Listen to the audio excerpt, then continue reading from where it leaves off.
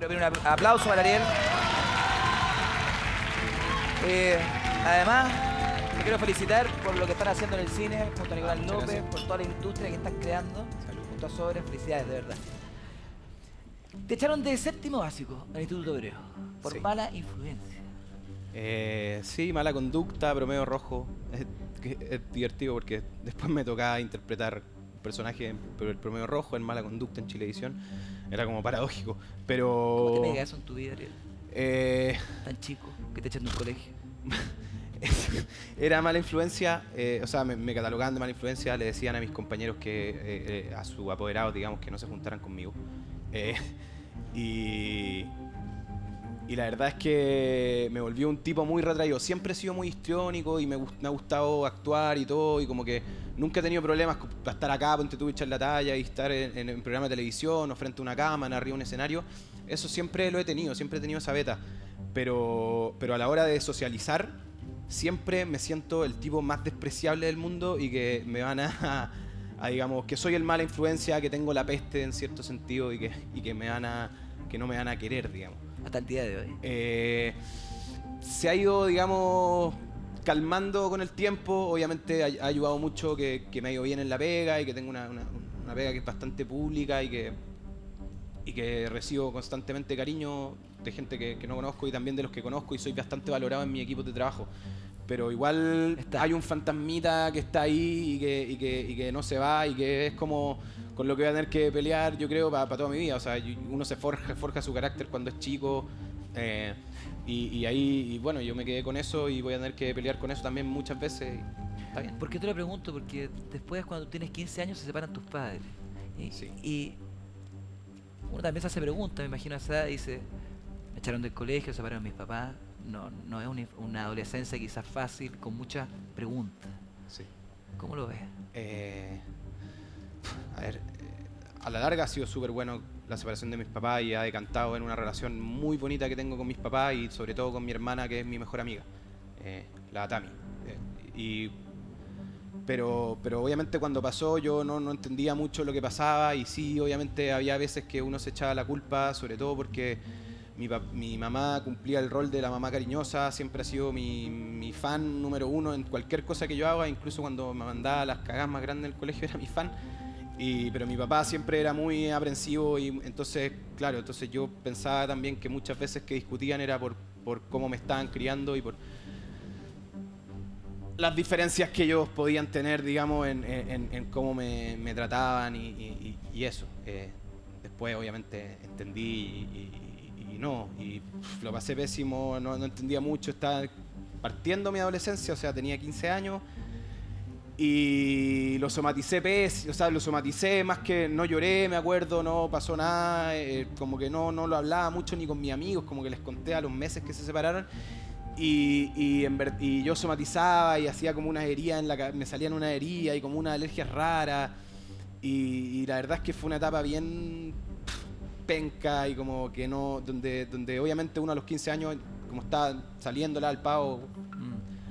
Está como con esa ya, está como con esa que no entiende mucho el mundo y sobre todo cuando te están separando tus papás también es como un, un golpe más duro. y- ¿Por qué un tipo, yo creo para muchas mujeres, guapo, exitoso, que hace películas, lleva tres años sin pareja?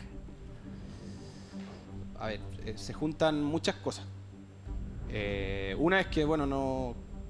eh, he tenido, ah, gracias a Dios, mucho trabajo en esta época. O sea, los mismos tres años coinciden en la época que empezamos a hacer Las Que Pena y empezamos a- y después nos fuimos a hacer Aftershock y Green Inferno. Yo también estaba en, en Chilevisión en esa época y obviamente tenía mucho trabajo y estaba como concentrado mucho en eso y en, y en crecer en esa parte y obviamente tenía mis pinchazos y, obviamente eh, en- encuentros con chicas y salía y todo el cuento, pero ¿Pero por qué no una relación estable? ¿Porque no has encontrado a esa persona? ¿O eres inseguro? O sea, bueno, lo que te contaba antes que me, que me pasa es como que me cuesta mucho. O sea, soy un tipo que, o sea, agarrar el teléfono o abrir el Facebook para invitar a salir a alguien debe ser uno de los trances más difíciles por los que tengo que pasar.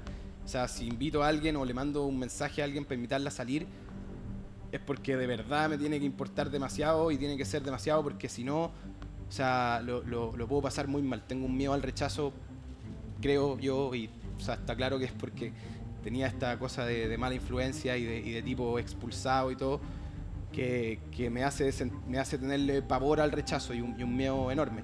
Y, bueno, y, esa es otra de, la- de las facetas de mi vida donde tengo que vivir con ese fantasmita desgraciado, pero que eh, sí, he aprendido a vivir con él. Tampoco soy un tipo que, le vaya tan mal en eso, digamos. Como Pero- decís tú, tengo todo para. Pero lo, pero lo tienes, lo tienes, digamos, incorporado y asumido. Te pregunto, por último, ¿cómo, ¿cómo te gustaría que fuera esa compañera, esa compañera que hoy día no está? ¿Qué tiene que tener esa mujer para que tú hoy día te puedas emparejar con ella? Eh, bueno, a- aparte obviamente del físico, que me tiene que gustar físicamente, eh, tiene que tener un sentido del humor similar al mío. Eh, yo tengo un sentido del humor particular, muy negro, eh, se puede ver en, la- en las películas que hacemos con, con Nicolás y todo eso. Eh, y tiene que tener ese sentido del humor y, y saber jugar conmigo en eso. Eh, y más que nada ser partner en todo sentido de la vida. No me gustan las mujeres que hay que estarlas llevando todo el rato y, y- y como sorprendiéndolas. Me gusta también que me sorprendan a mí y también que me pongan en algún aprieto, digamos, intelectual o, o- o, digamos, de, de opinión o, o tener una diferencia de opinión conmigo. Eh, eso me encanta en una mujer. O sea, me, encanta que, digamos, que de repente me lleven la contra o que, o que podamos discutir y, llegar a acuerdos. Y también me gustan mucho las mujeres con conocimiento como para yo también aprender. Creo que las mujeres que he tenido en mi vida, las dos mujeres que, mis dos pololas que he tenido en mi vida, siento que han sido mujeres así.